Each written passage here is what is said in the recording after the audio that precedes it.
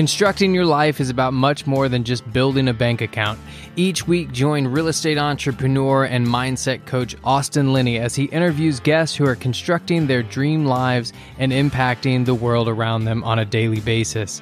If you're an entrepreneur or wanting to start a business, or you just want to hear motivating stories of how others have overcome the odds, you are in the right place. And now for your host, Austin Linney. Guys, welcome back to Construct Your Life. Stop talking, Chris. Uh, welcome back to Construct Your Life. See, that's how you got to do, guys. You, you got to put them in their place. No, I'm just kidding. Dude, this is the only guy that looks better than me. The only guy. I will only give this guy the credit. Uh, we have Chris in the house. How you doing, my brother? Good, man. Way to turn me all beat red at the beginning of this call. yes. no, I appreciate I you, brother. Dude, thanks for having I, me on, man. I really appreciate man, it. Man, I'm so looking forward to this conversation. So, what I like to do with my guests, like you've had a crazy last couple, like a year or so, uh, a lot of pivots, a lot of changes. Uh, I'll let you kind of tell your story, and then we'll go from there. Yeah, for sure, man. So I'll make it quick as far as like the childhood. You know, grew up with my mom and my sister. Uh, my older brother is most definitely a, a personal and professional mentor to me, but technically my half brother, so he was with dad a lot. Uh, so growing up without a father, man, it was um, it was non-traditional in a lot of ways, but I've used that as fuel to be where I'm at today and where I want to go. Definitely not where I want to be by any means, but um, yeah, I was raised in a, a martial arts background. Um, you know, mom, little sister, man of the house. Put myself through college, got a degree in sales and marketing, and then uh, pursued the California dream. So I moved out to California in 2013 got into medical sales. I did payroll for about 10 months and got into medical sales. And I've been doing that ever since, uh, really up until this last October. So I moved up to Seattle in 2017 to have my daughter, who's now three and a half years old. And present day, I'm, uh, you know, I'm a full blown business owner. I left my job back in October, two months into my very first flip, had little to no investment experience, but just knew I would figure it out. And couldn't couldn't I just couldn't stand my job anymore. I, I loved my job, I loved the people, but I just you know making money for somebody else was really getting at me. And so um, doing the real estate investing thing, I've got a girlfriend in law school. She's my life partner. You know, I haven't put a ring on it just yet, but that'll be happening. And uh, she's got a, a son from a previous, so we have a split family, but you know, all four of us parents are really close, and we're moving to the Carolinas here in the next nine or ten months together. So uh, again, pretty non-traditional, but all really good people, and and we're just all trying to crush it. So we'll put a pin in that North Carolina thing because I got something for you. So that's a good. That thank you because you just made my day. Yeah. See, my day just got so much better. Uh, oh, I love it, man. So you know what's interesting is there's something that a lot of people don't talk about as far as like I was reading something the other day and like you're everybody's in sales like you're in sales with yourself, you're in sales with your spouse, your kids. And what I've found is the the skills that you can obtain through a sales. Like I had an ex business partner who's like top five percent of Groupon for like eleven years in a row. He's a he's a savage, and he just doesn't care. Like he'll literally call everybody. Like he's like, okay, great, well, blah, blah, blah a lot of people don't see that skill, right? Like, here's the deal there's a lot of great salespeople out there that don't know anything about real estate. But if they took that skill and they realize what they know and they put it to this, man, they could supercharge their life. Yep. Yeah. Yep. Yep. I, I agree, man. I think exactly to your point, you hit the nail on the head where whether you want to be in sales or not, you are. Dating is sales, right? Getting a job is sales. Um, you know, teaching your kid is sales.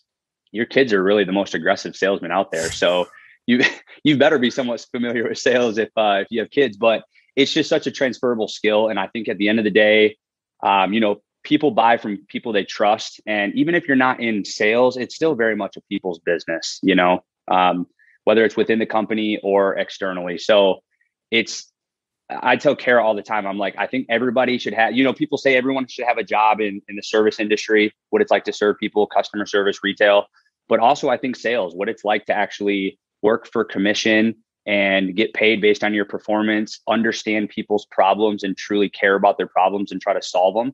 And it's just, yeah, it's a skill set that that will carry you uh, in many different facets of your life. And what is uh because it took me a long time to leave the restaurant business because I wanted to leave for a long time. And I was just thinking about we're coming up on my two year anniversary of being away from that.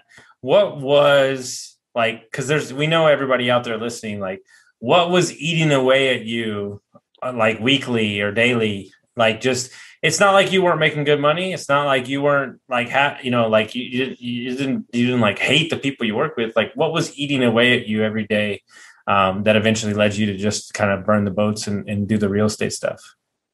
Yeah, great question, man. So it was really just thinking bigger and where I was thinking, it wasn't aligned with where I was at. I knew that there was a ceiling.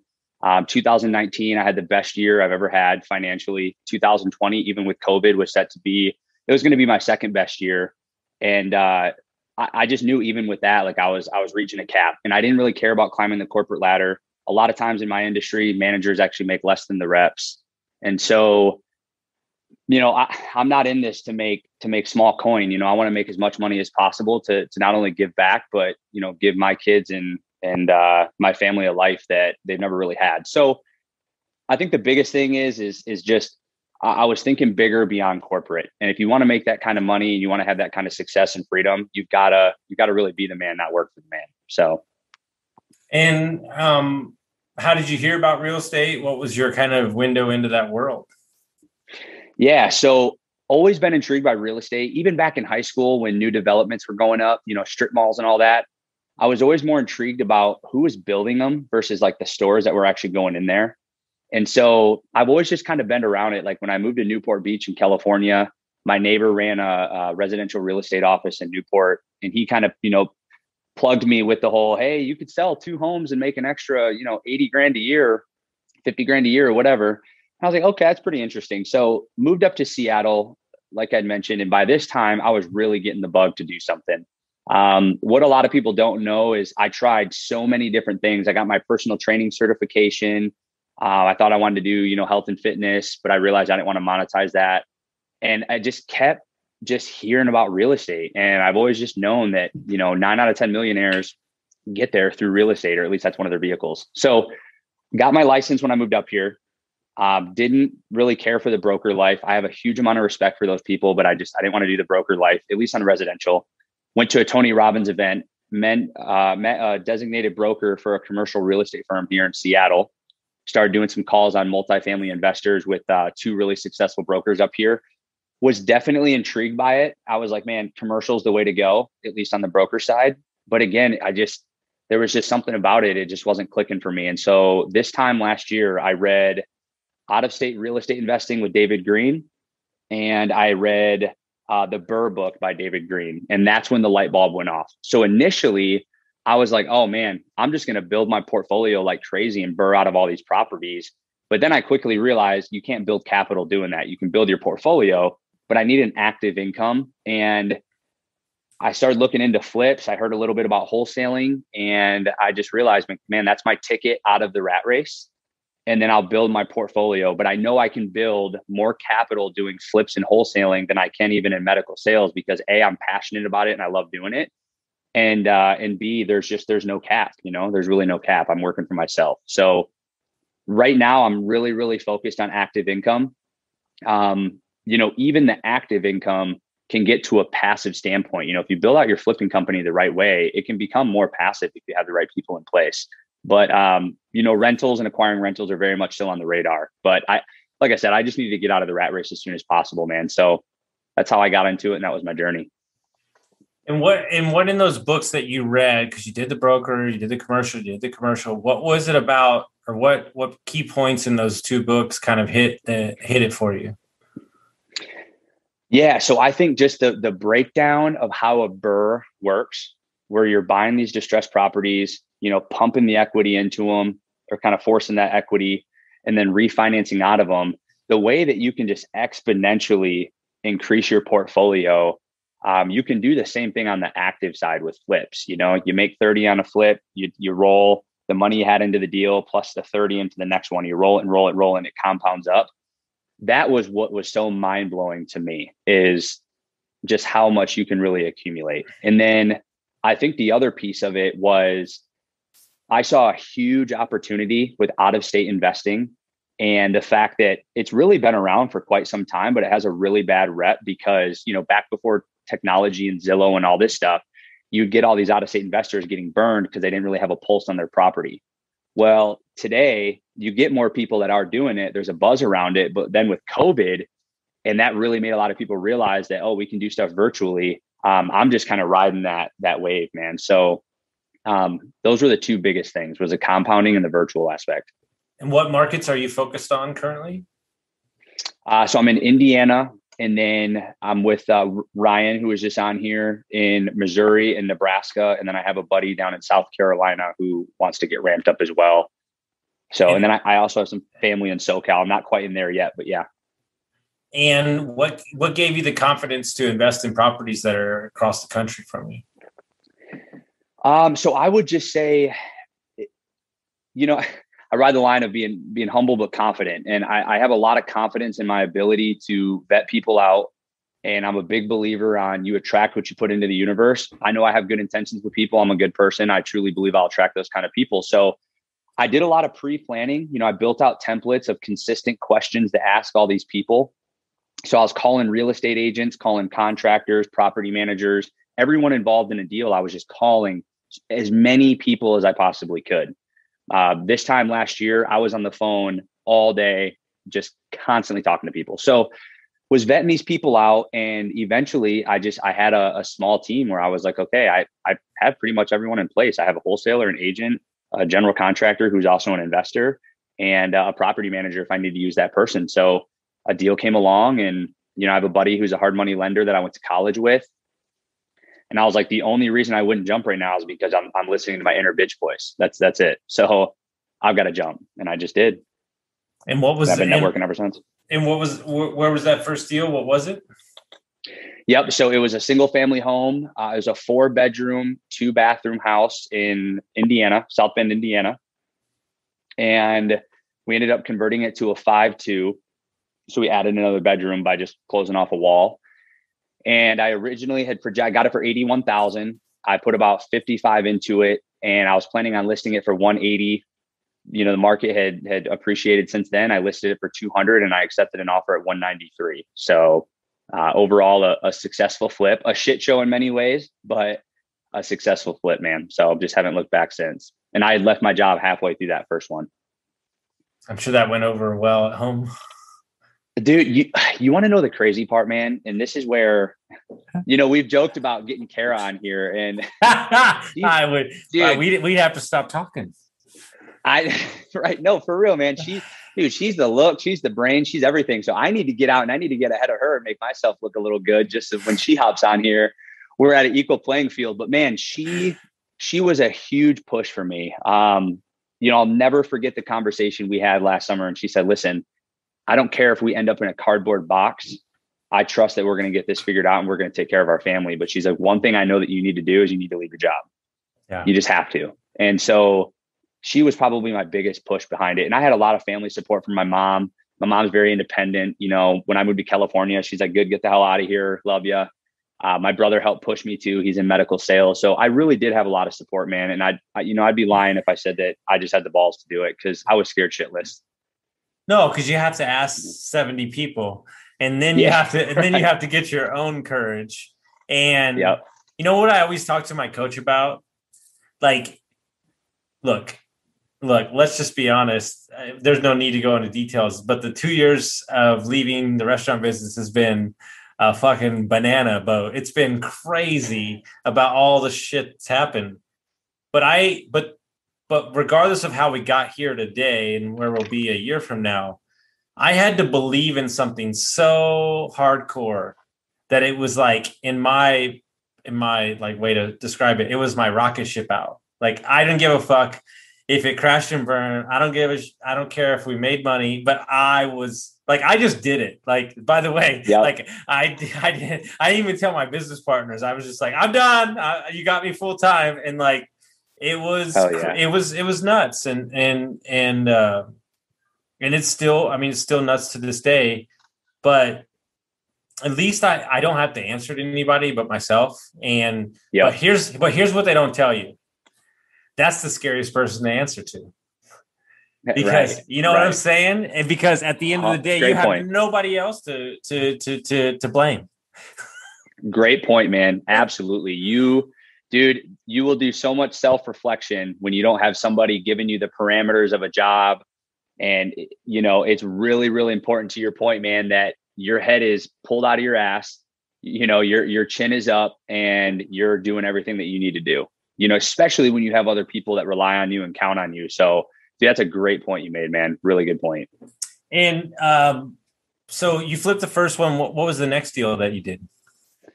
Yeah. So the next deal uh, was another another small single family. A little bit of a smaller deal is a fifty-three thousand purchase price, uh, about thirty-five into it, and sold it for one twenty-seven, and that was in the same market. And I got mm-hmm. started on that one about a month later. And keep in mind, man, the one thing I I I haven't done is and you know you everyone kind of teeters off a little bit and you know you got to kind of check yourself and stuff so i you know i've had my days and stuff like that but i've always just been on the gas with hard money lenders and ra- raising private money and talking with different people but um yeah so i was able to do that second deal with a different hard money lender and then i i started my third deal with a buddy of mine he basically brought the down payment on the hard money and he brought a lot of like his systems and processes kind of brain to the table and really helped me with some of that stuff and uh, yeah, we did a third deal. And then I'd gotten money back from my first two flips. I rolled on my fourth and fifth one. And then I actually just today closed on my sixth flip, which was my first fully funded private deal like no hard money, no nothing, completely passive, just wired the money the title. And uh, yeah, we're going to be doing quite a few deals with this guy, hopefully. So it was a big win. Yeah. And, and, and ultimately, there's like I have a coaching client who does some wholesales and like the the mechanism of the of the flip or the of the wholesale is depending on how you look at your life or the systems you put in is maybe not something you want to do for an extended period of time but in the short term it can be a mechanism to create the capital that you need and then the compound the compound effect of that over and over again really changes the game when you when you don't have to get a lender when you can fund it yourself things can move a lot quicker and you don't have to answer to anybody. And and so if yep. you if you need a way out if you need a way to start it, it's definitely it, it, it can be done for sure. Yep. Yep. I agree man. Yeah i wouldn't want to you know obviously flip houses for the rest of my life. I mean and i say that in this kind of position. Now you know i listened to a podcast uh, about a month ago and the guy made a great point. His flipping business is almost completely passive just because of everybody that he has in place. Mm-hmm. And it, it's a really good point, man. It's like the C and the D quadrant of Rich Dad Poor Dad. You have your big business, and then you have your, you know, your passive investments. And so, I do love flipping. Um, I, you know, I love the wholesaling as well. They're just two different things. But my goal is to build companies around those two things where it does become more passive. Mm-hmm. Because I just I had the mindset, man, where I would rather team up with more people and feed more hands and hire more people and take less of a margin but you're doing so much so much more at scale. You know you have five six teams and you know five six different markets. Yeah your your expenses are higher. You have more people that you're controlling but at the same time it's like you're building a company you're building a culture. And i just i just keep i try to keep that macro mindset. Like i don't want to be a mom and pop shop company where yeah sure my margins might be you know a lot better because I don't have as much help and I'm doing more myself. But I would rather take less and just have more at scale. Well, I think, yeah, eh, I get that. But I think the bigger reason behind you, just because I know you a little bit, because you're like me, I think, I think that what drives you drives me is, is I just want to create jobs. Yeah. Like yeah. I've worked with amazing people my whole life, especially in the restaurant business. And there's so many amazing people that don't want to be millionaires and don't want to work 90 hours a week that that that are moms or whatever that are um, that fucking gangsters at what they do, but they work for they work for crappy bosses.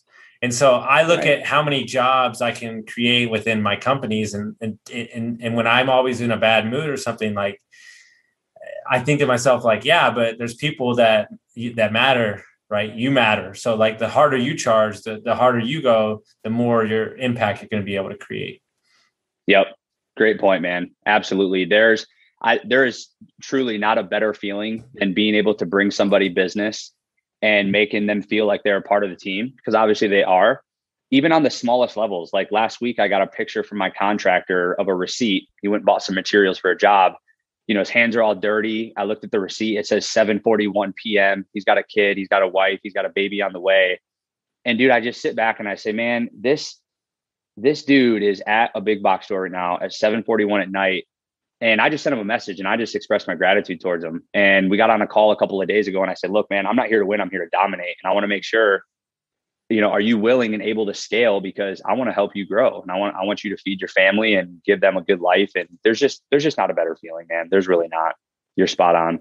How's everybody doing, guys? I want to talk today about our sponsor for May. You know, a good friend of mine, Mark Simpson, runs a company, uh, Boostly.co.uk. Guys, everybody knows that I'm in the short-term rental space for many years, and I think one of the reasons one of the quotes he said to me was you can't build your real estate on somebody else's property and it really resonated with me because we are so reliant on an airbnb a HomeAway these systems right and and headed into this year it's very important that we get direct bookings and they're the best in the business at this so in 2021 everybody needs to be building a website to create direct bookings and you can't rely on Airbnb. Plus, you're giving them a ton of money. And so 64% of all the websites are powered by WordPress. And these uh, private message companies that offer you the free website, they're not on WordPress. And so it's this trick that they're doing. And, you know, these guys are the best in the business, the best in the world. And I'm not just saying that uh, because I use them. I'm saying that because they are. It's the simple fact is that they, they service over 600 clients worldwide and you need to get this done and you can get it started for as little as 99 bucks uh, a month and you could do that with one property 100 properties but you need to be capturing emails you need to be sending uh, direct marketing back to these guests and the way to do that is to create a website and these guys are the best in the business when you get direct bookings you're saving money every year and the profit margins can be exponential and so if you want to learn more about them head on over to boostly.co.uk slash construct your life. Not only is Mark a great entrepreneur and CEO, but he's a great person as well. Well, think about it this way. And this is what I tell everybody. If you can understand that you're not flipping houses, you're feeding families, game changes straight up. Yes. And like we're always looking at the numbers, we're always saying, well, this is gonna do this and everything. Like, fuck all that shit. Like there are there are people that depend on you. Like, here's the deal. And I just know this because I've talked to a million big flippers. There's a lot of times, like even home builders, put it that way. There's a lot of times they're not making a huge profit on the house. They just need to keep their guys busy. They need to keep their guys right. fed. And like when you start hearing that, you're like, oh, game's different. Like, like there, you know, there's seasons, right? Where the profit's going to be huge, and there's seasons where you got to write it out. And and you got to understand that if you don't have them, you don't have anything. Like, there's no chance right. that you could do what you do.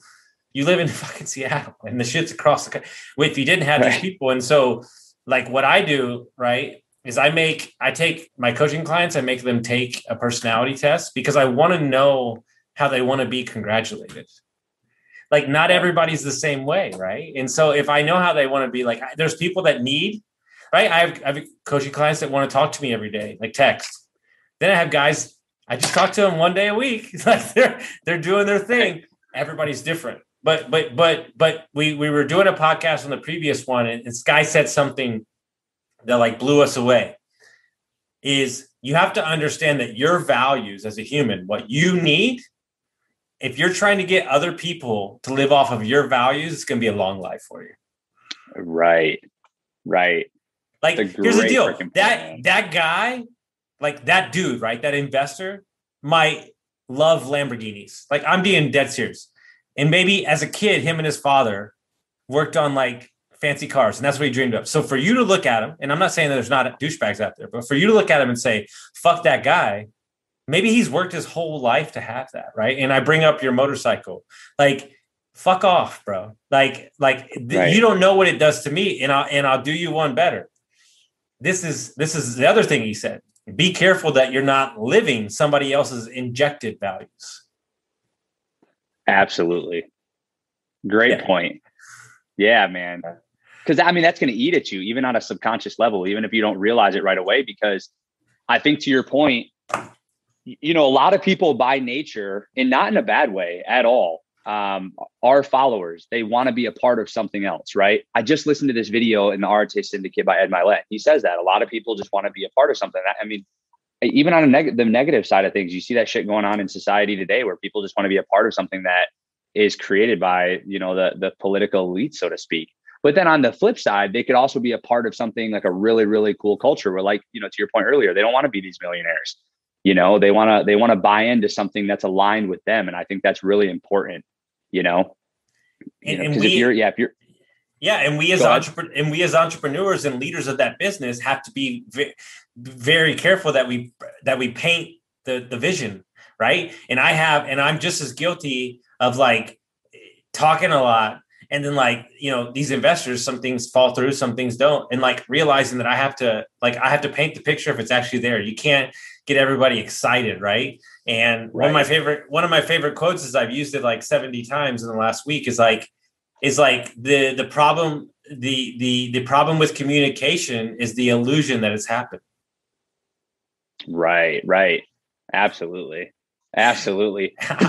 I know. When I heard that, I was Seriously, like, I was like, one sentence just changed my whole life. Like, and I was like, yeah. because because we have to we have to ask like when you're pushing, when you're when you're driving your team, when you're when you're pushing your business partners, like like I remember this. God, this had to have been like one of my first businesses. My business partner texted me one night, and he's like, "Hey, dude." You're like a locomotive, bro. Like we we don't roll like you. He's like, if you roll everybody like this, you're not going to have any business partners. And that's when I was like, oh, okay. Like they're, they they they just operate different. Okay, well, I need to. Right. I can handle what I can handle, but I don't need to dump it all on them. Yeah, yeah, Yeah. right, right. Absolutely, man. Yeah, So and that's what- a you know that's that's I was gonna say that's something that you know I I struggle with you know at times where I'm the same kind of way, man. Like I can just full steam ahead. I'm gonna do what I need to do to get it done, pile it on. And you know, not everybody's like that, nor does everybody want to be like that. And so I balance this, you know, as a CEO or as a business owner, you should be doing the most. You should be there the earliest. You should be leaving the latest. Uh, but you also want to make sure that you're going into business with the right people. And you also want to make sure, to your point, like where you're aligning with the right values with people, you know, and, and it's just a, yeah, it's, it's something that I spend a lot of time thinking about around just like culture and what people believe in and what you believe in and understanding that there's going to be some differences, but as a whole, you need to be aligned, you know, I couldn't It's a agree tough- more. tough What thing to uh, balance, but what uh, what got like you're flipping, you're making money. So where did this wholesale thing come from? Yeah, for sure, man. So um, I joined Seven Figure Flipping, and I met Ryan, who was on here earlier. And the dude is just awesome, man. He's such a great guy. He's a hustler, and we just clicked. We clicked really well. And he was like, "Hey, listen, I'm going to be doing this wholesaling thing. I know you're doing some flips, but I was kind of understanding too that with flips, it's you know, it's it's a longer project. Of course, you're not getting this quicker capital." So I just said, "Hey, man, like, what what value can I bring? You know, like I don't mind hopping on the phones and making some dials and stuff." So we just got started, and we've done four four deals, four or five deals since October. So nothing too crazy, but our spreads have been really good, and our our cost has been really low. And so we're looking to expand and you know get a cold caller going and things like that. So um, it was just the quick transactions, you know, and the, the sales part of it that I like.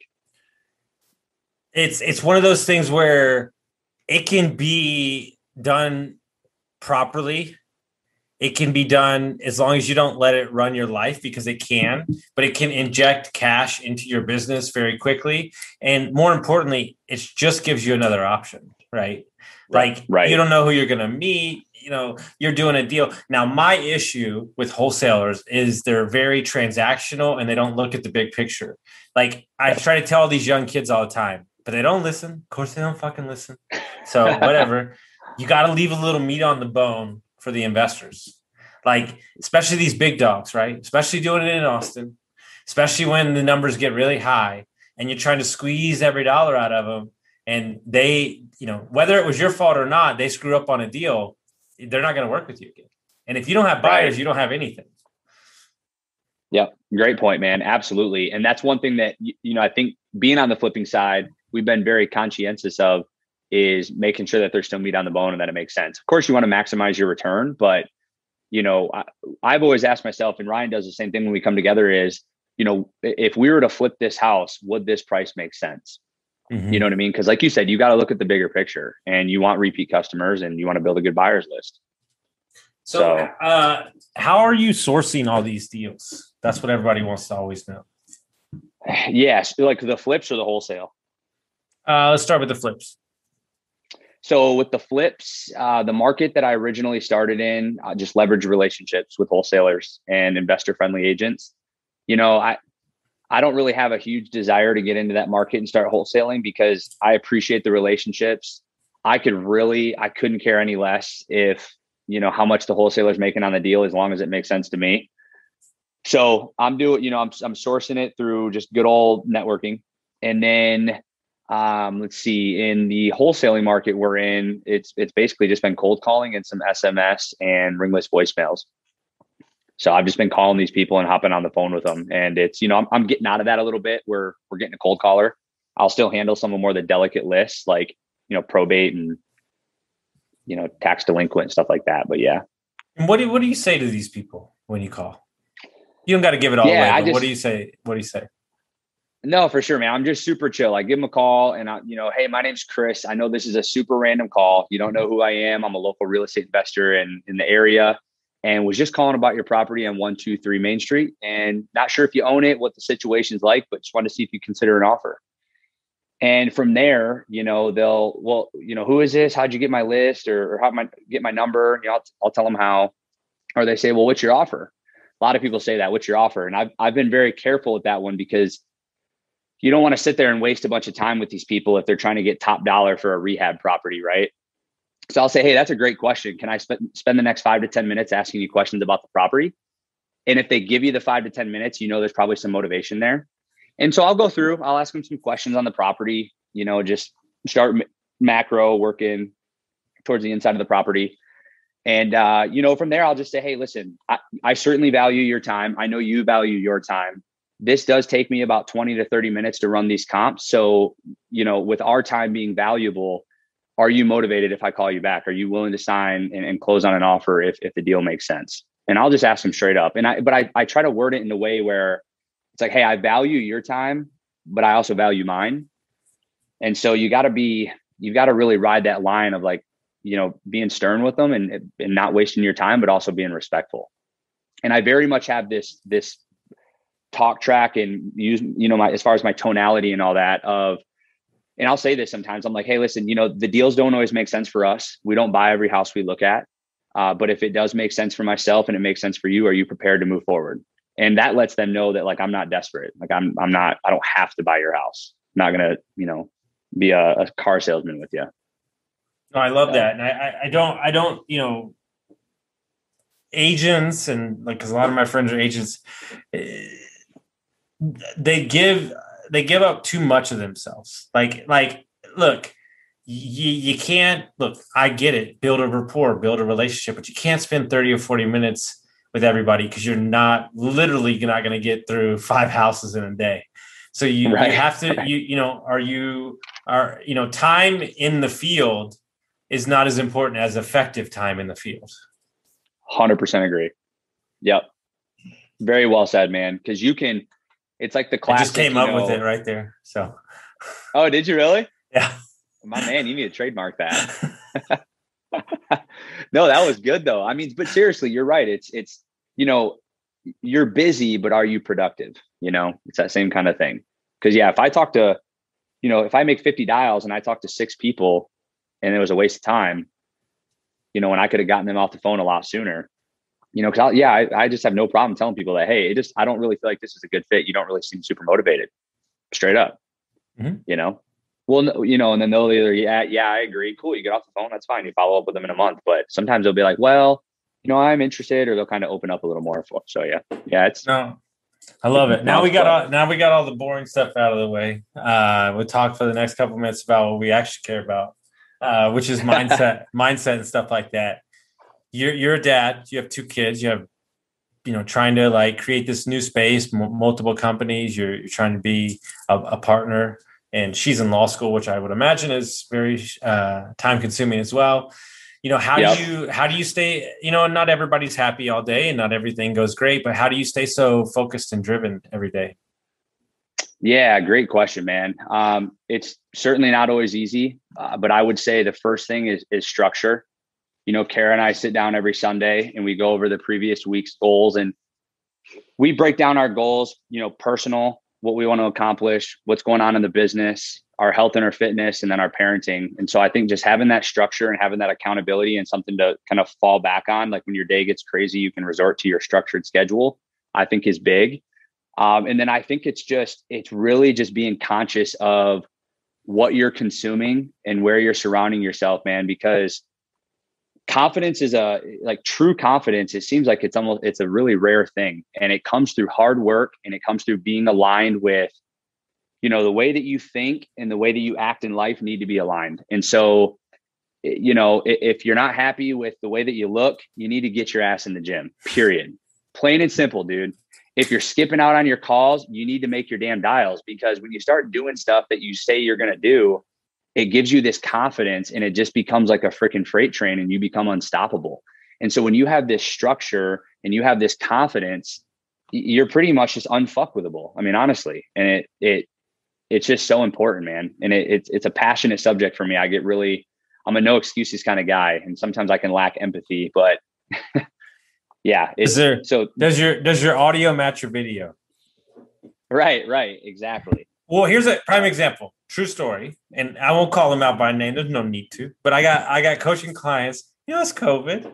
Don't get me wrong. Yeah. I, I, had a mustache and a shaved head because I had I couldn't go to the barber too. But you know, a couple of these guys, you know, I meet them. They they want help. Their their their beards long. They wear you know they wear a fucking hoodie every day. They they now got a haircut, and I said, dude, get your fucking shit together. And they're like they're like they're like, but wait, I don't give a fuck what other people think about me. Well, yeah, I know that. I don't care what other people think about me either. But guess what? The person that's looking in the mirror cares. And you may right. and you may think that it doesn't matter. True story. And I'll be hundred percent honest dude i'm in this chair most of the day bro like three like we had to go for a walk today because i hadn't been outside three days you know like yeah. like fucking yeah. rolling right yeah but what's interesting right is when i go out like i have to do a podcast in a minute and like we're going to miami for a wedding this weekend like i'm starting to i'm starting like not fancy but i'm starting to dress better and it's not yeah. i'm not doing it for anybody else but it just makes me feel good and so i i get it guys I get that you don't give a fuck what other people count, but don't you dare tell me that it doesn't matter that you're 60 pounds overweight. Don't you dare tell me that wearing the same sweatshirt three months in a row, it matters. It matters because right. here's what's crazy about people. Everybody's standards of other people are very high, yet their personal standards are really low. Yes, absolutely, man.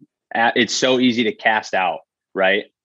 and and look at other people but then when you look internally you're like oh oh should i do the same thing you know mm-hmm.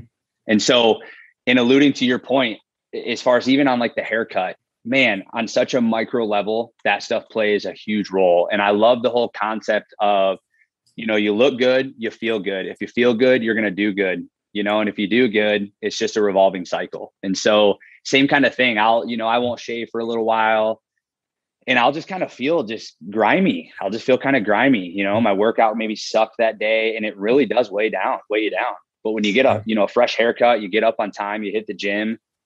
It, it makes you not only act more on that, but then you're able to reflect on, man, these last few days were were tough. I need to step it up. Well, here's the biggest thing: is people like me and you, they think that we want to, motherfucker. That right. I'm on a I'm on a new regiment right now at 4 a.m. I don't want to yeah, by oh, no stretch of the imagination, right? But here's the deal: I needed to start.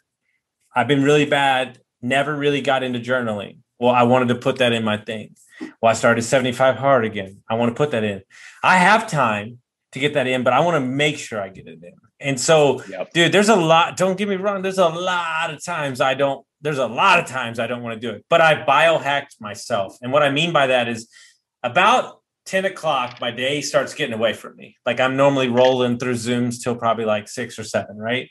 And so what I've done is I make sure that I knock out my 75 hard, all of it in the morning. Because nice. I don't I don't have it weighing on my head the whole day.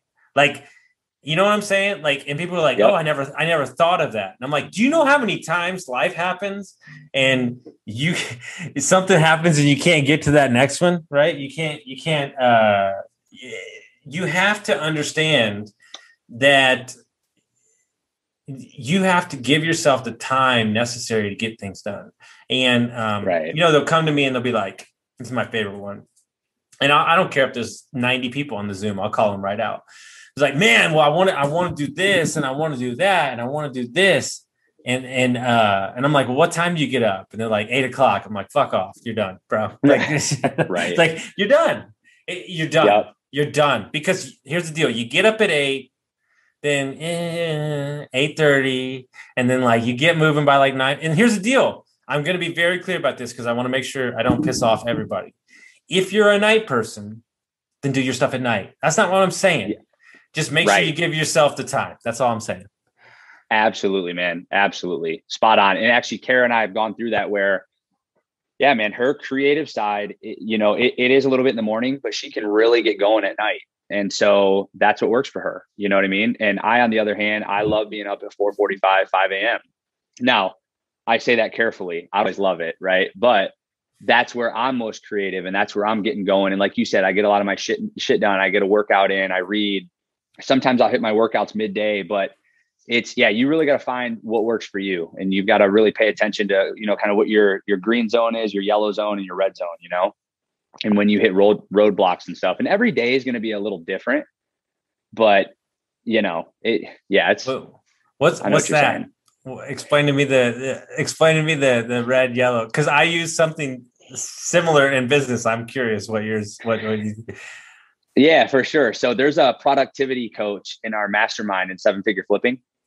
And she talks about how you have your green, your yellow, and your red zone. So green is obviously when you're most productive, you're full steam ahead. Yellow is when you you're productive, but you're not as as plugged in as when you're like really first charged and you kind of start to taper off. And then red is just when you hit your hit your roadblock. You know, a lot of times for people, it's right after lunch. Um, they just hit this wall. And so you've got to structure your day to where you're doing your most productive stuff during your green zone. Mm-hmm. You know, and and then there's there's ways to like you said hack it where you know, for me like sometimes I'll take a 17 minute power nap and it's 17 minutes. You know, and that will just get me going through the afternoon. And then there's other times where I'm like I don't have time for it. I just need to to just you know, biohack to your point, kick that inner bitch voice and just just plug through. I mean, there there is just some grit to it, man. And a lot of people don't talk about that, but there is just some some grit. Yeah, so, it's it's all day to day. Yes, right. But but what I've done is separate, right? So I've had I've had extremely long three days, like so Monday, Tuesday, Wednesday this week, and then next week the same thing. On yep. Thursday, I got like two meetings, like maybe. On Friday, we're flying to Miami. I got nothing. And then like yep. not only that, my my massage guy's coming tomorrow afternoon. And so I go front heavy. By yep. the way, if you haven't done this, that's we, we need to talk about this offline. I'll talk to you about what you need. I'm curious, man. Change yeah. your, change my entire life. He did it really. He works for uh he works for Aubrey Marcus down in Onnit Gym and here in Austin. And he's a he's a body work guy. And so it's not a like he's a physical therapist, he's a whatever. So before COVID, I was getting a massage a week, and yeah. and I, I couldn't, and I I he got recommended by a friend, and and what I didn't realize is I take on so much people's energies, like my coaching, right? You're you're helping them, and I can't get yeah. it out, right? And so he comes in. Um, we we turn on like an hour and a half of massage music uh, my phone goes on do not disturb, which is probably the only time of the week that happens. And I literally either fall asleep or I meditate for like an hour and a half and like slip in, like I'll close some loops in my brain. And when I when I get out, my girlfriend's like, I don't even know who you are. Like you look like your face looks different. And so that's crazy. And so what's wild, right? I was talking to somebody the other day who I really respect, and she was like, think of it this way what you do and what you give back, like you can't not do this. Like you can't not do this. And right. my buddy, my buddy right. always says, like healers need healers, and it's so true. And like it's like a reset on my week. Like it's like, okay, like plants it over and like, and so it's very hard for me, right? Because one of the things that I'm struggling with so bad is I, I don't stretch. I hate fucking stretching. Oh man, I just, I, it's like, it's like my little dark secret. I can't, I, I, I know so I'm, much.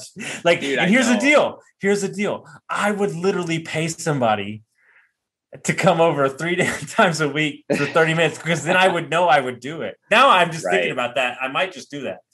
Uh, yeah, seriously. And you like that's what I'm saying. Like biohack yourself, figure stuff out that you have to do because you know you need to do it. More importantly, here's the most important thing: give yourself permission to do it and then and then and then you can go so if people want to find out more about your journey i think i shared way too much of my own stuff on that but uh sorry oh, guys I got it. into my life. i loved it. Uh how people find out about your journey.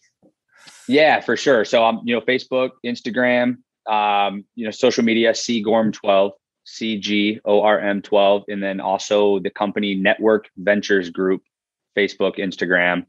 And uh, yeah, just anybody listening to this that wants to talk about mindset, real estate, you know, parenting. I mean, I do not have it all figured out, not even close. But there's obviously some things that are working in my life, and I'm always happy to pay it forward and have conversations with people. So please reach out. I'd love to hear from you guys. Love it. Guys, if you like this episode, make sure you send it out to your friends, rate us and review us. We'll see you next time.